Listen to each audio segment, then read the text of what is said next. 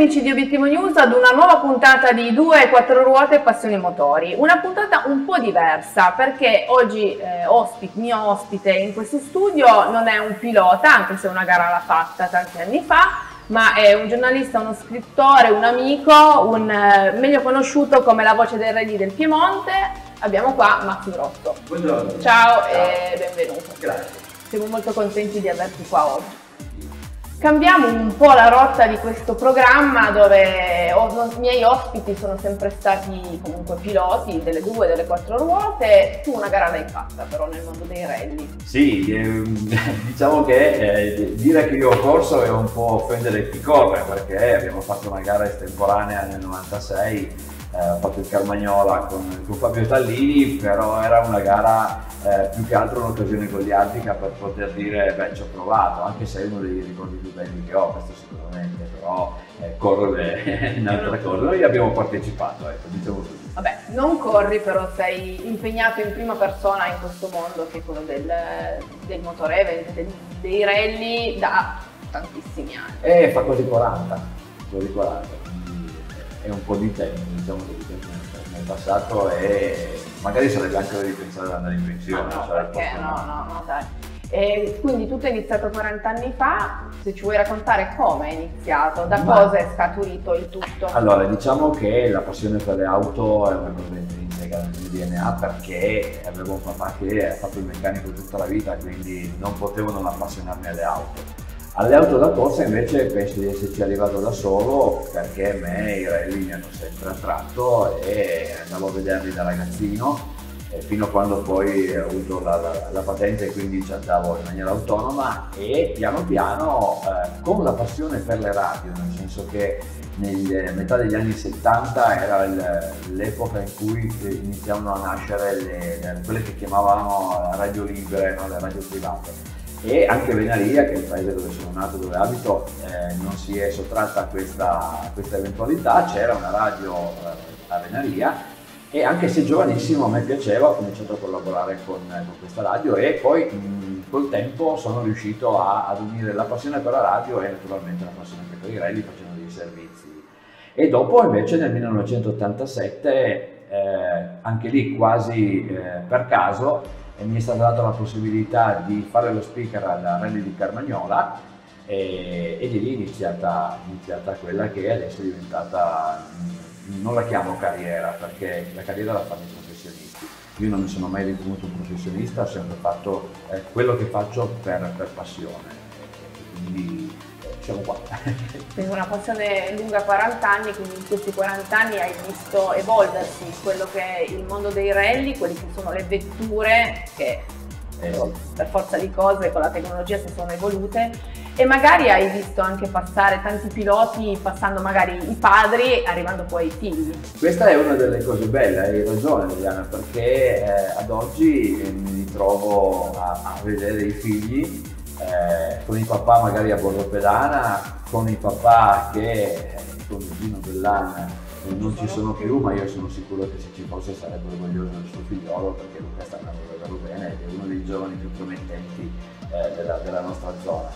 E sì, tanti piloti che sono diventati nel tempo anche grandi amici, quindi è, è un ambiente che ogni tanto eh, devo essere sincero, eh, più vado avanti e più mi rendo conto che sarebbe ora di pensare a, a lasciare eh, a qualcun altro. Eh, la mia grossa paura è eh, il, il, fatto poi di, di sentirne la mancanza, perché questa è stata davvero eh, una delle parti importanti della mia vita. Certo, poi essendo una passione, una passione non è che passa col passare dell'età, no. è una cosa che hai dentro di te, non, non, passerà, non passerà mai.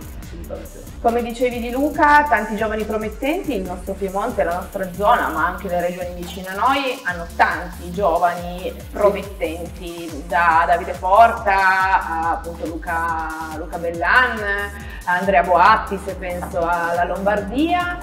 Eh, come si potrebbe aiutare loro? Come può anche magari la federazione riuscire ad andare incontro a questi ragazzi che effettivamente, oltre alla passione, hanno anche il talento? Eh sì, eh, questo è un, eh, è, un, è un, discorso che se iniziassimo a, a farlo dobbiamo prenderci del tempo, perché è un discorso lunghissimo. Eh, I giovani, è vero, vanno aiutati eh, e vanno aiutati eh, non insegnando loro che è importante avere il casco disegnato, la livrea sulla macchina e una bella tuta, eh, vanno, vanno, aiutati insegnando loro la vera filosofia che, che, che, c'era magari una volta. Questa è un po' colpa nostra anche, che forse non siamo riusciti a trasmettere a, ai giovani quella che era la filosofia di Rally una volta. Eh, anche se devo dire che loro ci mettono del loro, nel senso che come ti ho detto prima abbiamo dei giovani promettenti, tu hai fatto dei nomi, sono assolutamente autorevoli. Ehm, eh, dico che troppe volte c'è immagine e poca concretezza, ecco, questo sì. Eh, però è il, è il, segno dei tempi che cambiano. Noi eravamo abituati a quello, adesso non è più così, bisogna arrivarsi. Però le, soddisfazioni non mancano eh, sotto l'aspetto dei giovani. È un, è, un, è un, buon aspetto e il Piemonte su queste cose ha, come hai detto, una buona eh, reputazione, ecco, perché i nostri giovani crescono bene, qualcuno si è fatto vedere anche a livello eh, tricolore, sì. è, è, è ottimo questo. Qual è la differenza tra il mondo delle corse di una volta a quello attuale? Lo vediamo poi anche nei rally attuali tra il rally storico e il rally moderno. E c'è una grossa differenza, ma come dicevo prima, perché sono cambiati i La cultura. Quindi. La cultura dei rally. Una volta noi andavamo a vedere i rally, ma i rally li andavamo a vedere una settimana prima perché eh, sapevi che alla sera se non avevi niente da fare e, e se avevi da fare trovavi il modo di non farlo, eh, andavi sulle prove speciali a vedere e provare. E eh, le serate finivano quasi sempre o in una birreria o in un ristorante perché era così, con i piloti che provavano, c'era della gente che faceva un passaggio e poi si andava a bere a mangiare. E c'era forse più aggregazione, adesso c'è eh, un modo diverso di approcciarsi ai rally ma come dicevo, come detto più volte, c'è un modo diverso di approcciarsi anche al mondo che ci circonda, quindi direi che è cambiato tutto, ma eh, eh, i rally si sono soltanto adeguati a questo cambiamento. Mm, una volta era, c'era forse più una passione un pochino più genuina, adesso si cerca a tutti, a tutti i costi la professionalità, a discapito alcune volte a eh, quella passione eh, schietta genuina che invece c'era una volta. Non può essere provocato anche comunque dall'aumento dei costi effettivi, quindi magari la ricerca smisurata di tanti piloti che a tutti i costi eh, cercano sponsor ovviamente per poter correre, magari esternalizzando troppo e perdendo quella che è la vera essenza. Sì, del... è vero, è vero, è, è aumentato tutto, i, i, costi per... Eh, allora, eh, correre nei rally è uno sport costoso e questo lo viene da sempre. Da sempre. Eh, in questo momento in modo particolare perché stiamo momento, vivendo un momento economico eh, disastroso e lì non si sottraggono a quello. Eh, è chiaro che con l'aumento dei costi cambiano anche le esigenze e le, le possibilità e quindi cambia tutto. Però bisogna adeguarsi. Il, nostro, il mondo è questo, eh. il mondo anzi dopo Covid è ancora più. Sì, certo, come dicevi tu, magari una volta era, c'era più aggregazione, si andavano anche a vedere le prove, diciamo, notturne, comunque quando provavano, mi ricordo io da piccolina, che mio papà mi portava appunto delle sere che non erano sere di gara. Adesso tutto questo non si può più fare, anche per, per quello che concerne il discorso della sicurezza. Eh, sì, eh, intanto si correva anche di notte eh, ed era un'atmosfera molto speciale. Eh, io adesso recentemente abbiamo eh, collaborato con le rete del grappolo che sia nella parte moderna che nella parte storica ha proposto almeno una prova di notte.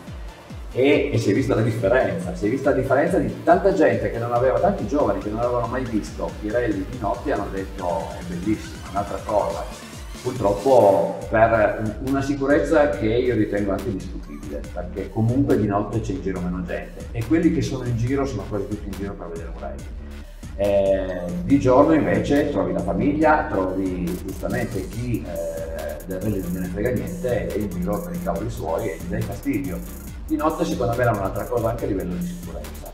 Si è scelto diversamente, sai come si dice, non capisco ma mi adeguo. Sì, certo. Il concetto è questo. Certo. Rispetto a, sempre al discorso della sicurezza, le macchine si sono evolute tanto, quindi sono molto più, sempre più performanti, sempre più leggere, tra virgolette. eh, cosa si può fare per effettivamente dare una sicurezza, una maggiore sicurezza agli equipaggi? La consapevolezza di eh, essere su una macchina da corsa. Eh, che, che, tanti si dimenticano. Che rispetto ad una volta, eh, è vero, la sicurezza è aumentata eh, tanto, se, se, se, pensiamo che una Lanciarelli 037 era un, un volo tubolare eh, con una carrozzeria in vetroresina, sì. era eh, oggi eh, eh, abbiamo delle vetture più sicure ma chiaramente molto più performanti, molto più veloci, eh, una percorrenza in curva che, che, che, è, un, che è, pazzesca a volte e quindi aumenta tutto con l'aumentare eh, della potenza e della, della, della, della performance. Eh, secondo me si è fatto abbastanza sulla macchina da corsa eh, la mentalità che deve cambiare è forse a volte chi va a vedere un rally e crede di aver eh, capito tutto perché lui vent'anni fa andava a vedere, vedere i rally. Eh, ed è una cosa che eh, non invidio ai commissari di percorso e, e, e, a chi ha detto la sicurezza perché tante volte ti trovi a discutere con della gente che dice no io qua mi metto qui, io ogni tanto facendo il mio lavoro ho a che fare con i fotografi eh, che, che, chiaramente per fare la foto bella, per fare un lavoro professionale hanno bisogno di, di, sì.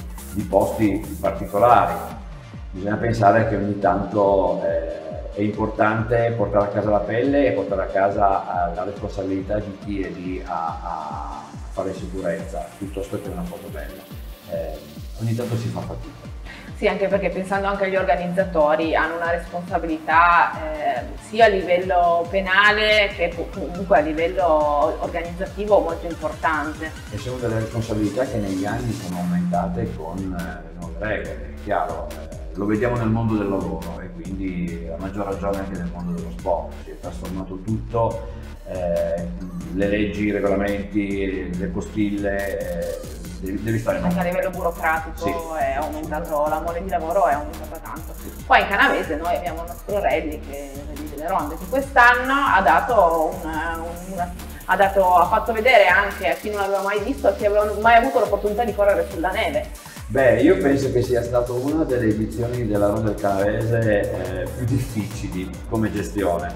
E a questo proposito io devo fare davvero i, i complimenti all'organizzazione, eh, anche se faccio parte però eh, chi ha gestito quella parte lì, dalla, dall'organizzazione alla direzione gara, devo dire che ha lavorato molto molto bene e in condizioni ad un certo punto proibitive, anche proibitive perché ad un certo punto secondo me ehm, eh, c'erano i presupposti per dire a tutti arrivederci e andiamo a casa. E invece eh, con, con, professionalità, con impegno, eh, anche con, con, una buona dose di, di, di, di testardaggine eh, abbiamo portato la gara al fondo eh, annullando soltanto una prova, ma perché in quel momento era importante rendere la prova sicura e quindi bisognava perdere un po' di tempo.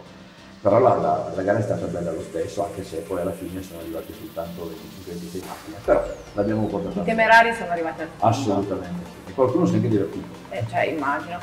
Eh, tra tutti i rally che ci sono, qual è quello che ti piace di più e quello a cui sei più affezionato?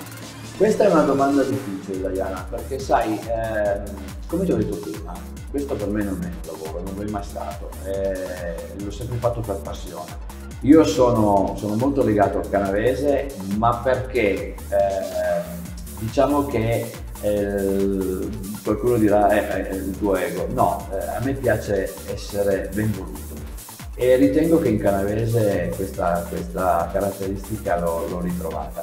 Eh, ho tanti amici, eh, anche in Val d'Aosta, io sono reduce della Valle d'Aosta e credimi, io un arrivo come quello del Valle d'Aosta dello scorso anno, ma soprattutto di quest'anno, non l'ho mai visto in 40 anni di, di, lavoro. Eh, lì c'è la passione, c'è, c'è l'entusiasmo. Tanti anche equipaggi valdostani. Proprio. 57 equipaggi valdostani su 158 partenti in una gara di Coppa di zona e loro mi hanno detto che quest'anno l'ACI ha, ha, prodotto 40 licenze, nuove licenze proprio in occasione Solo per quello. Solo, c'è gente che fa la licenza soltanto per correre il Rally Valle d'Aosta, quindi a parte che in Valle c'è una, una passione smisurata. Sì, è proprio tutta un'altra cultura. Eh, un'altra... Eh, se dovessi dirti qual è la, la, la, gara che amo di più, eh, te ne elencherei almeno 20, perché io sono legato al, al Carmagnola, anche se non si fa più, ma perché è stata la mia prima gara da speaker e la mia prima e unica gara da pilota eh, sono legato al città di Torino perché è la gara del, della mia città. Eh, come ti ho detto, la Ronda del Canavese eh, ha un sapore particolare, in Valle d'Aosta c'è un, un affetto eh, smisurato. Eh, che dire, eh, tante, sono tante, non saprei scegliere quella che mi attrae di più, sono, sono tutte gare che mh, mm, faccio ancora con, tanto piacere. Nel corso della, di tutti questi anni poi hai preso parte come, diciamo, nel, nell'ambiente della beneficenza, che è una, diciamo, un aspetto molto importante, che è appunto a sostegno dei bimbi, quindi a sostegno di, di coloro che hanno bisogno di aiuto. Eh, quella è una parte che mi coinvolge eh, in, modo, in, modo, particolare. Eh, aiutare questi bambini è importante, ma cre- eh, credo che ti, ti eh, accresca il, il, il, tuo bagaglio, perché ti rendi conto che eh, tu stai facendo uno sport e fai una cosa per regalare anche solo un sorriso a questi bimbi. Se ci sei riuscito hai già fatto il tuo lavoro. Noi ehm, adesso il, il, primo di ottobre saremo a Moncalieri con Campioni per un giorno che per motivi di Covid abbiamo dovuto interrompere, ma quest'anno ci siamo di nuovo e collaboriamo in modo particolare con il reparto di pediatria dell'ospedale di CDE che credimi è un reparto fantastico, con gente fantastica. Eh, siamo stati più volte a visitare il reparto ed è eh, il reparto a misura di tipo. Ecco, tu entri lì dentro e ti accorgi che sei a casa loro, a casa dei bambini e le manifestazioni eh, sono, sono, invece, come ti dicevo, un, un qualcosa che eh, ti devasta a livello mentale, perché vedere questi bambini eh, è, è, qualcosa che, che, che, non riesci a spiegare, lo devi vivere. E, e poi eh, nel mese di ottobre saremo invece in Canavese per una manifestazione che si chiama allo stesso modo, perché è un giorno, un da, giorno da campioni e anche lì eh, dedicata, dedicata, a questi bimbi che eh, salgono su queste macchine e gli metti il casco perché li fai sentire davvero partecipi, eh, partecipi di questa cosa, gli hai regalato un sorriso e a chi eh, ci viene a trovare invece la possibilità di, di, di aiutarci perché oltre al sorriso è importante dare una mano a chi cura questi bimbi per trovare il modo e le attrezzature per, per andare avanti perché questa cosa non si deve fermare, deve andare avanti. Un giorno da campione è anche legato a Casa Ugi, quindi alla, al supporto che viene dato proprio ai genitori sì, di questi sì, bambini. Sì, sì, e difatti con, eh, nel, parlando della manifestazione di Toscosano con Casa Ugi c'è un bel rapporto, eh, loro, loro sono presenti con CDE devo dire che il rapporto è, è forse essendo un'entità un pochino più piccola è, è, più stretto. Noi una volta all'anno veniamo chiamati e ci eh, illustrano eh, centesimo per centesimo tutto quello che fanno con i soldi che ricevono. E ti devo dire che, ripeto, entrare in quel reparto è, è qualcosa di, di, di emozionante che eh, ti appaga del, degli sforzi che poi non sono neanche sforzi, del, del, del, sacrificio che non è un sacrificio perché lo fai volentieri, di tutto quello che fai per vedere questi bimbi che magari è, è una cosa che mi è rimasta impressa. L'anno dopo ti, ti vengono a cercare, ti salutano e dicono ti ricordi di me? Eh, sì. Certo. È una cosa, cioè è una bella, è una bella cosa. Non ti nascondo che parla di queste cose mi emoziona. Vabbè eh, lo, lo capisco. Tornando a parlare di giovani, abbiamo parlato dei giovani piloti, invece i giovani che vogliono, vorrebbero fare questo mestiere. eh, Passiamo dall'altra eh, parte. Guarda, ehm, l'ho scritto anche nel libro che ho fatto. Eh, a me e, sempre di più in questo periodo eh, viene in mente che forse è arrivato il momento di fare un passo indietro perché penso che fino a quando quelli come noi di una certa età non faranno questo passo non ci sarà nessun giovane che invece può proporsi e fare il percorso che abbiamo fatto noi. Da una parte la mia grande paura è sentire poi la mancanza di questo ambiente, perché, perché ha significato la mia vita, ha significato la mia grande passione, ha significato quella cosa a cui ho dedicato gran parte del tempo libero Dall'altra parte mi piacerebbe, ma eh, devo essere sincero, mi piacerebbe trovare un giovane eh, che, che, la pensasse un po' come me, nel senso che per fare questo mestiere eh, intanto non devi, devi, cercare di non farlo diventare un mestiere perché... devi farlo sempre con passione. Con passione, perché altrimenti è un problema.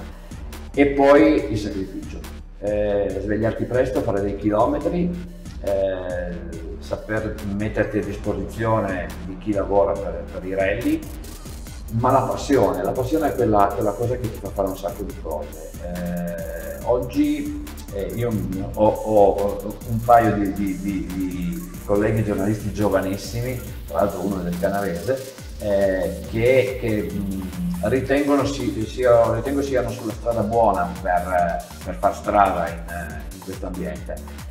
Eh, troppe volte, e io mi arrabbio, eh, infatti mi chiamano quasi papà perché io mi arrabbio perché quando vedo che non sono così pronti, così attenti, così eh, concentrati su, su, su, un obiettivo che non deve essere il grande pilota.